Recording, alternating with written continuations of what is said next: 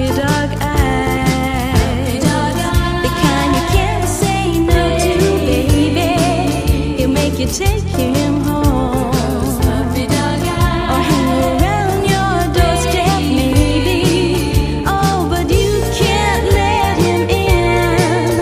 Or he'll break your heart again. Yes, he'll break your heart with those puppy dog eyes.